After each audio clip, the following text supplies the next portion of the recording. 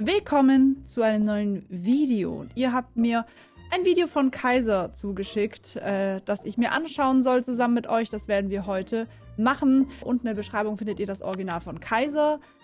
Und ich würde sagen, haltet euch fest. Ähm, einigen von euch wird sicherlich der Puls gehen. Das Video heißt das schlechteste soziale Experiment des Jahres. Ich kann mir schon vorstellen, dass eine Person extrem viel Mist von sich gegeben hat, extrem viel Shitstorm bekommen hat und dann gemerkt hat, das Ganze wäre doch besser als soziales Experiment abzustempeln, damit man sagen kann, hey Leute, das war doch nicht meine ernste Meinung. Oh Gott, ich habe Angst. Jascha Flex ist ein TikToker, der in letzter Zeit sehr ungewöhnliche Genau, der äh, wurde mir auch schon vorgeschlagen. Den habe ich direkt wei weiter geswiped, weil so einer darf auf meiner For You-Page nicht eine Sekunde ausreden. Aussagen in seinen Videos bringt. Dieses Video geht an meine Gym-Kollegen Genau das wurde mir angezeigt. Warum es unattraktiv ist, wenn eine Frau ins Gym geht. raus, die es richtig attraktiv finden, wenn ein Mädchen im Gym trainiert. Meiner Meinung nach finde ich das gar nicht attraktiv. Ich finde es sogar ekelhaft. Einfach Schamgefühl haben sollen. Die wollen ehrlich einfach nur die Aufmerksamkeit von den ganzen Männern haben. Und du wirst die Aufmerksamkeit von den Frauen nicht haben, wenn du trainieren gehst? Hm, du trainierst einfach nur für dich? Hm, warum trägst du ein Achselshirts? Willst du das andere Frauen nicht anschauen? Hm. Ihr habt schon gelesen, meine Freunde, das war anscheinend Teil von seinem sozialen Eck. Wisst ihr, was hier das Problem ist? Der Typ ist einfach eifersüchtig und kommt nicht drauf klar. Diese Eifersucht, dass Frauen von anderen Männern angeschaut werden. Ich persönlich trage beim Training eine enge Leggings. Erstens, eine enge, feste Leggings hält meine Haxen schön fest, weil ich mache immer 20 Minuten am Ende des Trainings eine Laufsession und es fühlt sich für mich als Frau unangenehm an, wenn ich laufe und meine Beine abbeln.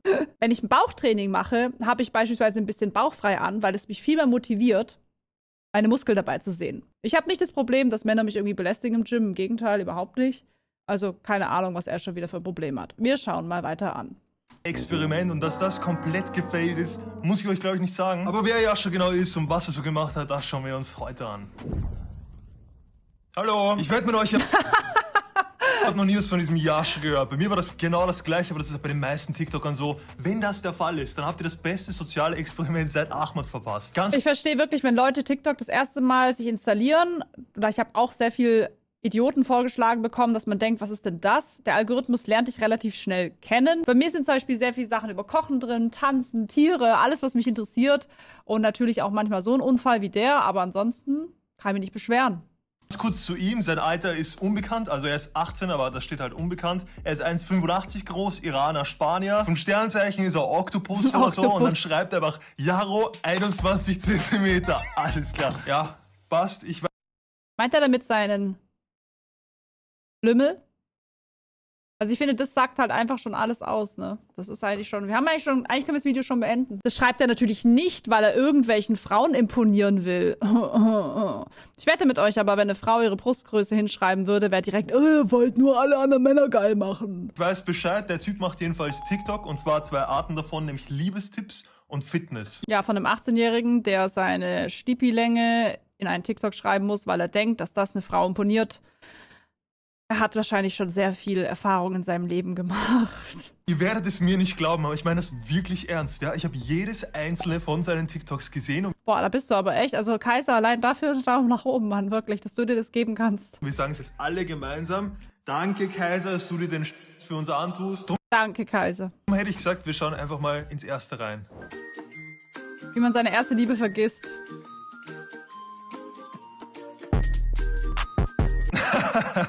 Naja, schade. Hat Hatte gerade Hoffnung, dass du jetzt was Nützliches sagst, aber wirklich. Bro, da muss ich Aber lass den mal erwachsen werden, Leute. Er ist halt noch ein Baby.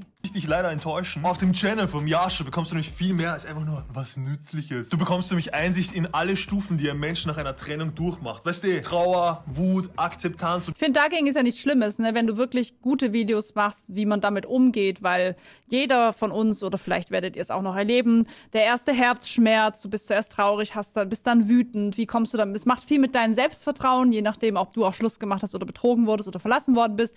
So Videos sind ja an sich gut und ich glaube, dass auch sehr viele junge Leute diese Videos von ihm konsumieren, aber da sage ich es halt wieder, der Einfluss der Influencer ist teilweise leider größer, als man denkt. Und wenn du so eine Scheiße Deswegen halte ich von sozialen Experimenten halt nichts, weil du musst auch immer sicher sein oder kannst ja nicht davon ausgehen, dass wenn 200.000 Menschen dein Video gesehen haben und du da Scheiße laberst und du danach wirklich beweisen kannst, das war ein soziales Experiment, immer noch ein Drittel der Menschen dich nie wieder schauen werden und das Denken, was du da von dir gegeben hast. Und ganz wichtig, das dümmste TikTok 2022, also halt der gesamte Prozess. Wir gehen heute all diese Schritte gemeinsam durch mit ein paar Extras hier und da. Und by the way, danke an Unico, dass du mich auf dieses Thema aufmerksam Deutscher Andrew Tate verbietet Frauen ins Gym zu gehen. Ach ja, Unico, den mag ich, den schaue ich öfter, da kriege ich immer so alles mit gemacht hast. Ich liebe solche YouTuber, die sich mit sowas befassen. Das dank dir habe ich mir drei Stunden am Stück seinen Content reingezogen. Es war Weltklasse. So, okay, fangen wir mal an, nur so als Randinfo. Wenn ich das richtig verstanden habe, dann war er in einer Beziehung mit irgendeinem Mädchen und die hat ihn dann verlassen. Und jetzt macht er halt diese Liebes-TikToks. Warum du niemals einer Frau hinterherlaufen solltest. Wenn wir der Frau hinterherlaufen, verliert sie Interesse, weil wir dann zu anhänglich werden. Dieses Video geht an alle Frauen. Das ist bei euch ein Fakt. Dass Vor allem an alle Frauen, ne? Das heißt schon wieder dieses alle in einen Topf stecken. Jede Frau denkt so, jede Frau ist so. Und es ist halt, wie gesagt, es ist halt Content, es ist Content. Es ist halt Content für Kinder. So, muss man halt sagen. Es ist halt für junge Leute. Ich bin dafür zu alt für die Kacke, ganz ehrlich. Von einem Typ. Deswegen bitte glaubt nicht immer alles, was ihr im Internet hört, auch wenn es von mir ist oder von irgendwelchen anderen Creatoren, die ihr liebt. Recherchiert immer nach, verbessert uns gerne, wenn wir falsch liegen. Aber äh, wir haben definitiv nicht die Weisheit mit Löffel gefressen. Sich zu oft bei euch meldet, dass sie dann einfach aus dem Nichts Interesse verliert. Es ist mir egal, ob ihr jetzt. Ja, aber dann hatte sie halt auch kein Interesse an dir. Ich finde es gar nicht schlecht, wenn man im Leben auch mal gekorbt wird, weil dann holt dich das so von deinem hohen Ross runter, weil, ja, wir sind halt nicht die Geisten.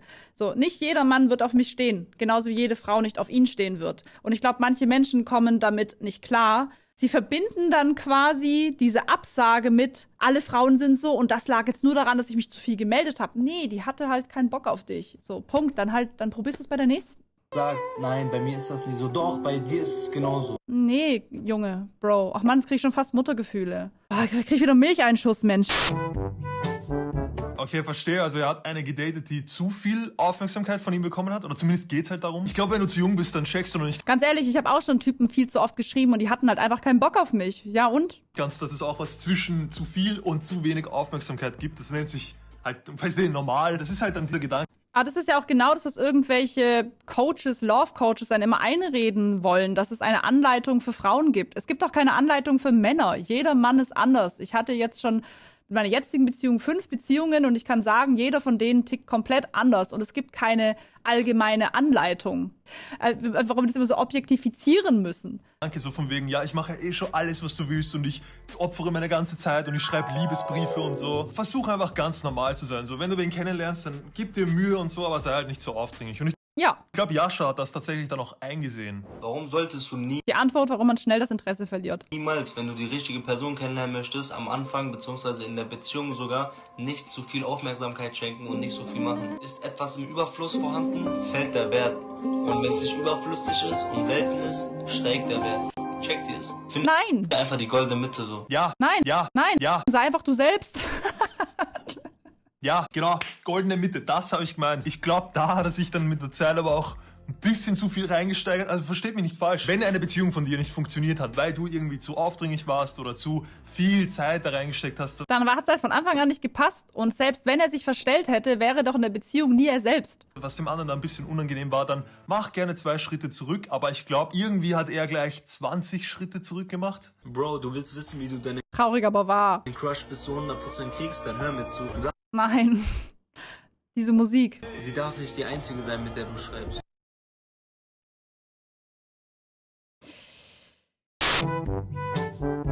Du musst sie einfach schlecht behandeln, damit du sie kriegst. Was? Und so eine Kacke labert der. Und es gibt Jungs da draußen, die das annehmen und Mädels. Bitte glaubt diesen Bullshit nicht. Das ist einfach Fakt. Okay. Es ist einfach Fakt. Wenn du einen Fakt von dir gibst, dann musst du aber auch, wie wir es schon gelernt haben, auf der anderen Seite den Beweis liefern. Ganz kurz muss ich da unterbrechen, ja. Wenn ich eine Frau bekommen will, dann muss ich mit anderen Frauen gleichzeitig am Chatten sein. Das ist einfach Fakt. Du, ich weiß nicht, ob das wirklich so ein Fakt ist. Bei mir hat das halt auch ohne funktioniert und gerade auch dieses, du musst sie schlecht behandeln. Das finde ich halt ganz, ganz, ganz kritisch. Weil, wie gesagt, und das finde ich wieder zum Thema Influencer und jeder kann seinen Müll öffentlich verbreiten und seine Meinung. Es wird da draußen jetzt Menschen geben, die das aufsaugen, die das genauso handhaben werden nicht sind, wie sie sind, weil sie irgendeinen dahergelaufenen Typen auf TikTok irgendwas glauben, was er später als soziales Experiment verkaufen wird. Und das finde ich kritisch und du wirst diese Menschen vielleicht auch nie wieder erreichen. Das ist so ein Tipp, den hast du wahrscheinlich bei Nets ultimativer Schulwahnsinn gesehen. Ja. Aber was ist aus der goldenen Mitte geworden? Vorhin war es die Mitte zwischen zu viel Aufmerksamkeit und zu wenig. Und jetzt ist es gar keine. Und du musst auch noch mit anderen schreiben. Und wenn du sie in der Schule siehst, dann spuck sie an, die F nur so bekommt man Frauen. Also irgendwie haben wir es jetzt geschafft, dass wir einen kompletten 180 hinlegen, aber ab dem nächsten TikTok habe ich mich wirklich gar nicht mehr ausgekannt. Dieses Video geht an die Frauen. Alles hat seine Grenzen. Natürlich verlieren wir Jungs die Interesse, wenn ihr euch zu oft meldet. Aber irgendwann f- das auch einfach ab, Oh. wenn ihr die ganze Zeit sagt, ja, wohin gehst du, was machst du, dies, das. Wir schätzen das wert, aber es ist einfach zu viel. Ehrlich, es ist einfach zu krank. Also ist er jetzt doch der Meinung, dass zu viel Aufmerksamkeit nervig ist. Ich meine, ja Vor allem hat er sie nicht eigentlich gerade widersprochen? gut, man kann seine Meinung ändern. Ich versuche nur gerade die Handlung irgendwie nachzuvollziehen. Ich finde, er geht immer wahrscheinlich von aktuellen Beispielen in seinem Leben aus, wo er zum Beispiel gerade mit dem Mädel schreibt und die nervt ihn, weil er ihr zu viel schreibt und das projiziert er auf alle. Das ist es eigentlich. Also zuerst war er zu nett und hat dem Mädchen zu viel Aufmerksamkeit gegeben, das wollten sie nicht. Jetzt ist er ein Der mit einer Freundin bekommt. Dann regt er sich über Mädchen auf, die genau das gleiche gemacht haben wie er vorher. Ja. Und dann postet er aber wieder solche Videos. Bruder, ich sag dir Dieses Video geht an die Jungs, die es nicht wertschätzen. eine Sache. Dieses Mädchen, was dich die ganze Zeit am Nerven ist und dich die ganze Zeit fragt, was du machst, wo du bist. Dieses Mädchen darfst du nicht verlassen, denn Oh Gott, und dann noch diese sentimentale Musik dahinter und dieses Rumgesäusel. wenn du dieses Mädchen verlässt, wirst du an einem Punkt sein, genauso wie ich, wo ich jetzt an diesem Punkt bin. Ja, guck, er redet über seine aktuell, er, ver er verarbeitet einfach seine aktuellen Frauengeschichten in TikToks, ist emotional, unsachlich und belegt Fakten oder legt Fakten auf alle Frauen, weil es eine mit ihm gemacht hat. Das ist glaubwürdiger Content. Du, Jascha, ich fühle mich gerade ein bisschen verarscht von dir. Ich kenne mich im Moment halt wirklich gar nicht mehr aus. Aber wenn du viele von seinen TikToks gesehen hast, dann wird dir bewusst, dass das halt automatisch so passiert, weil er ändert seine Meinung wirklich daily. Also das ist jetzt nicht als Scherz gemeint oder so. Das ist wirklich passiert. Am 15.04. postet er sechs Optionen, um vor dem Sommer attraktiv auszusehen. Punkt Nummer vier, lass die Oversize-Kleidung, trag lieber enge Klamotten, um den Körper zu zeigen. Und Aber warum tragst du deinen Körper? Du willst ja nur Aufmerksamkeit von anderen Frauen. Das könnte man als guten Tipp auffassen. Einen Tag später, sechs Wege, zehnmal besser auszusehen in nur einer Minute. Punkt Nummer drei. Trage breite Hosen und Oversize T-Shirts. Frauen lieben es. Plus. Das wird ja immer verrückter mit der Mode, oder? Da muss Ja, der macht halt, versucht halt einfach alles abzudecken und Reichweite zu bekommen. Und auf TikTok geht es erschreckend einfach. Für mich hat die Reichweite auf TikTok zum Beispiel, ich mache da kaum was und habe fast 400.000 Follower. wirklich up to date sein. Ich meine, das muss doch irgendwo ein Troll sein, oder nicht? Zumindest hoffe ich das, weil mit der Zeit hat er dann wirklich angefangen, so von diesen lustigen Videos mehr so auf diese problematischen Videos umzusteigen. Gönnt euch einfach mal das. Es ist einfach Ist doch so, seid doch ehrlich. Fakt, dass wenn eine Frau sich freizügig anzieht, er es nicht für sich selbst macht, sondern einfach nur um die Aufmerksamkeit der Männer zu kriegen, Nö, weil sie danach süchtig ist. Nee. Ich äh, ziehe mich gerne auch einfach eng betont an. Ähm, das habe ich ja schon mal in einem Video besprochen. Das könnte ich unten in der Beschreibung äh, gerne einmal abchecken. Frauen, wenn sie sich herrichten und hübsch machen, das auch teilweise für andere Frauen machen, weil das mehr ein Konkurrenzding ist, als andere Männer ähm, zu imponieren. Ich zum Beispiel bin immer jemand, ich bin jetzt in Beziehung, ich bin vergeben, ich brauche jetzt nicht irgendwie Aufmerksamkeit von anderen Männern, aber trotzdem möchte ich auch nicht komplett abgeranzt vor anderen Frauen sein. Warum trainierst du denn im Fitnessstudio oberkörperfrei? Sei doch ehrlich. Hä? Warum postest du so Content? Fakt, Leute. Wenn ihr auf Ernst eine Frau kennenlernen möchtet, müsst ihr sie warten lassen und sch- behandeln. Seid sogar so, Also allein solche Aussagen, ne? also wenn das mein Sohn wäre, den würde ich so die Ohren lang ziehen. so ekelhaft, dass wenn ihr ein Treffen miteinander ausmacht, ihr in letzter Sekunde absagt, damit sie es einfach mehr wertschätzt. Denn heutzutage sind leider Frauen so. Nö, ist nicht so. Ich würde mir denken, was ein unzuverlässiger Typ. Mit dem treffe ich mich nicht mehr. Das nächste, warum manche Jungs eine Jungfrau heiraten wollen. Ich nicht. In diesem Video werde ich dir sagen, Das ist das Schlimmste, sagt Kaiser. warum es manche Jungs gibt, die einfach nur eine Jungfrau heiraten wollen. Und zwar liegt es einfach daran, dass der Mann sich einfach Sorgen um seine Kinder macht. Sollte der Mann Kinder haben, beziehungsweise einen Sohn haben, dann geht er zu seinem Vater und sagt, Papa, sei ehrlich, hattest du was mit ein paar Frauen? Der Sohn würde es dann cool finden, wenn der Vater mit vielen hatte. Aber er würde sich schämen, wenn er wüsste, dass seine Mutter davor was mit anderen Typen hatte. Und deswegen gibt es halt manche Männer, die einfach nur eine Jungfrau heiraten wollen. Nicht, weil sie irgendwie unsauber ist oder so, um Gottes Willen. Die Musik. Okay, also Das ist ja wohl so mit das Dümmste, was ich seit langem jemals gehört habe. Oh mein Gott. Mama, Papa, mit wie vielen Menschen hattet ihr eigentlich Geschlechtsverkehr, bevor ihr es miteinander getan Also eine Frage, die ich generell schon einfach nie stellen wollen würde und die mich auch einfach nicht interessiert. Gerade das letzte TikTok, da habe ich wirklich sehr viel drüber nachgedacht und ich, ich habe es immer noch nicht verstanden. Aber hey, beim Mann ist es natürlich wieder okay. Bei der Frau ist es natürlich wieder etwas, wofür man sich schämen muss. Ach, ich lieb's ja einfach so. Das ist halt einfach die billigste Ausrede ever. Schau, mir ist es egal, wie viele Partner du hattest, nur unser Kind. Ja, ist halt wirklich ein Bullshit. Bruder, ich hätte aber gesagt, wir breien nicht lang um die heiße Fackel herum und kommen direkt zu dem TikTok, was in meinem mega Shitstorm eingebracht hat. Und auch zu Recht, ja. Ich würde sagen, schnallt euch bitte alle mal an und genießt die Show. Dieses Video geht an meine Gym-Kollegen raus. Warum es unattraktiv ist, wenn eine Frau ins Gym geht. Das, das habe ich nur gelesen, ich habe ihn sofort weggeswiped. Ich glaube, ich habe ihn sogar gestummt, ich weiß es gar nicht richtig attraktiv finden, wenn ein Mädchen im Gym trainiert. Meiner Meinung nach finde ich das gar nicht attraktiv. Ich finde es sogar ekelhaft. Einfach aus dem Grund, weil meine Freundin einfach Schamgefühl haben sollte. Digga, ich meine, guck mal, sie hat einen gut trainierten Körper, sie trägt enge Sachen, zieht sich dann auch noch dementsprechend freizügig an, macht irgendwelche Squats. Und hinter ihr ist einfach irgendein Typ, der an der Brustpresse ist und die ganze Zeit auf den Haus angucken will. So, und da hast du nämlich ein Problem. Du bist hast äh, nicht genug Selbstvertrauen, du bist eifersüchtig und kommst darüber nicht hinweg.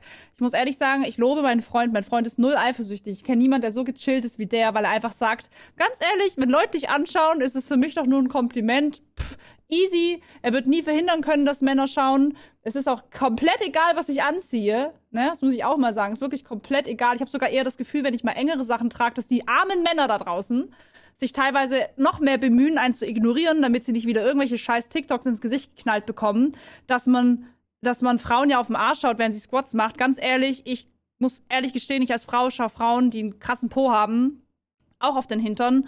Und es gibt im Gym ganz viele Frauen, die tragen diese extrem krassen Hosen, wo der Hosenschlitz in der Mitte in den Po reingeht, dass er noch krasser aussieht. Und ich schaue da als Frau gerne hin. Und ich empfühl, empfinde dabei ja auch nichts Sexuelles, aber ich glotze trotzdem hin.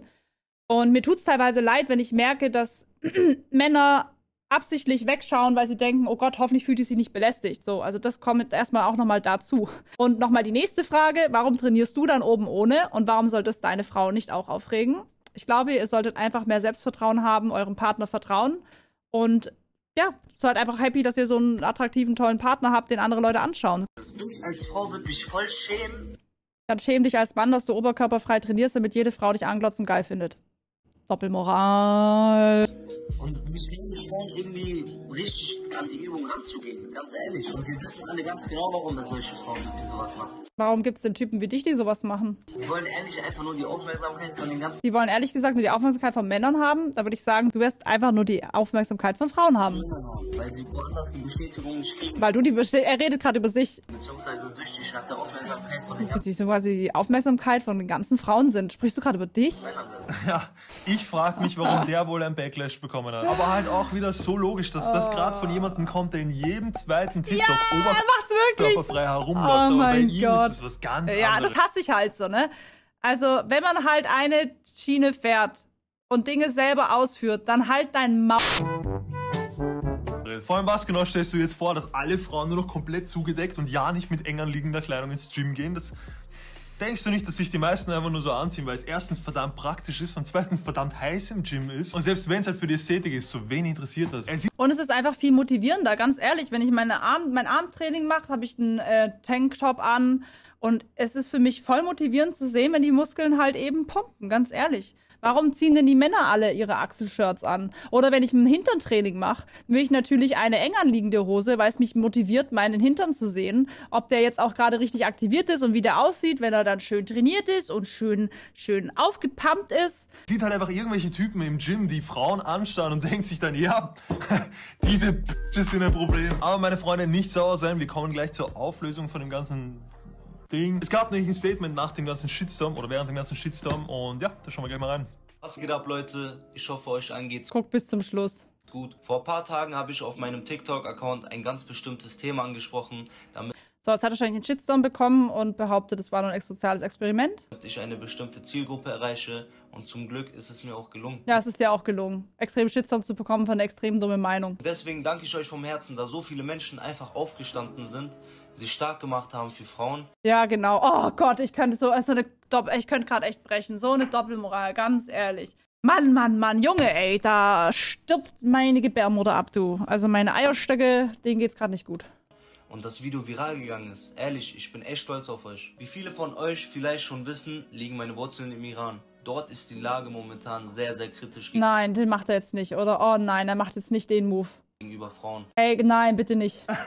Oh mein Gott, bitte nicht. Bitte geh nicht auf das Thema.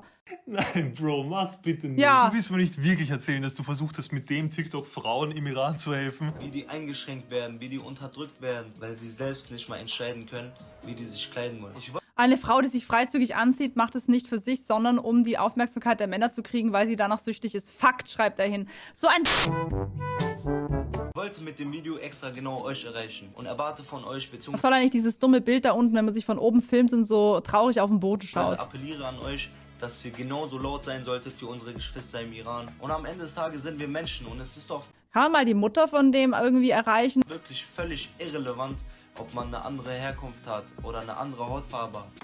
Was hat jetzt die Herkunft oder Hautfarbe damit zu tun? Was habe ich verpasst? Ich verstehe nicht, was hier gerade abgeht. Ich dachte, es geht um Frauen im Gym und auf einmal geht es um den Iran und um Rassismus und so. Bruder, weißt du was? Ich höre jetzt auf zu unterbrechen. Wir drücken das Ganze jetzt durch und schauen es bis zum Ende. Ich konnte das Video nicht posten, weil ich Angst hatte, dass Leute das wirklich von mir denken. Aber als ich dann diesen Zeitungsartikel gelesen So viel Mut. Seit Wochen protestieren die Menschen im Iran und sie registrieren genau, wie wenig Solidarität aus Deutschland kommt.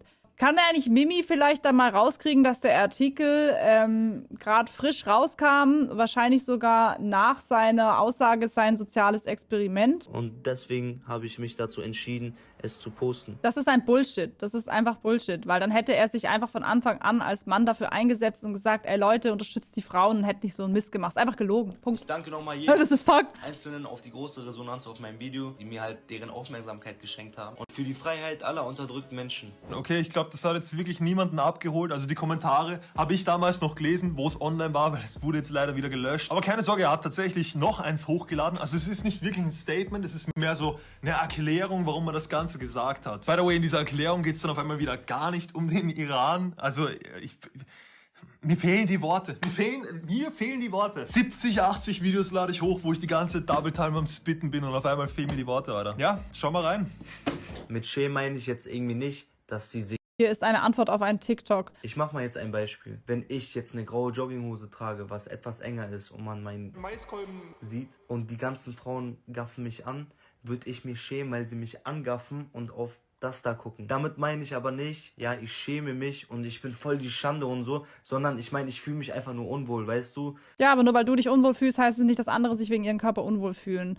Und eine Frau trägt ja auch nicht so eine enge Hose, dass man ihr Camel Toe sieht, beispielsweise.